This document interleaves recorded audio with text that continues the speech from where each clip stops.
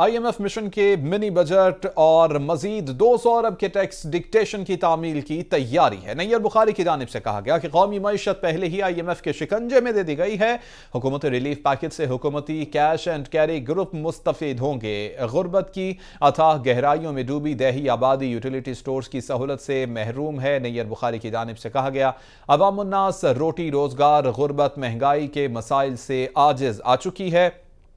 حکومتی معاشی ارستو پیدا شدہ سنگین اقتصادی بحران کے ذمہ دار ہیں۔ مہنگائی، سونامی کے آگے بے بس شہریوں کا زندہ رہنا مشکل ہو گیا ہے۔ نیر بخاری کی جانب سے کہا گیا، آئی ایم ایف مشن کے منی بجٹ اور مزید دو سو ارب کے ٹیکس ڈکٹیشن کی تعمیل کی تیاری ہے۔ نیر بخاری کی جانب سے کہا گیا، قومی معیشت پہلے ہی آئی ایم ایف کے شکنجے میں دے دی گئی ہے۔ حکومتی ریلیف پیکج سے حکومتی کیش اینڈ کیری گروپ مستفید ہوں گے۔ غربت کی اتھاہ گہرائیوں میں ڈوبی دیہی آبادی، یوٹیلیٹی سٹورز کی سہولت سے محروم ہے۔ نیر بخاری کی جانب سے کہا گیا کہ عوام الناس روٹی، روزگار، غربت، مہنگائی کے مسائل سے آج جا چکی ہے۔ حکومتی معاشی ارستو پیدا شدہ سنگین اقتصادی بحران کے ذمہ دار ہیں اور مہنگائی سونامی کے آگے بے بس شہریوں کا زندہ رہنا مشکل ہو گیا ہے۔ نیر بخاری کی جانب سے یہ کہا گیا ہے۔ اپڈیٹس آپ تک پہنچا رہے ہیں۔ آپ کو یہ بتائیں کہ آئی ایم ایف مشن کے منی بجٹ اور مزید دو سو ارب کے ٹیکس ڈکٹیشن کی تعمیل کی تیاری ہے۔ نیر بخاری کی جانب سے کہا گیا، کہتے ہیں کہ قومی معیشت پہلے ہی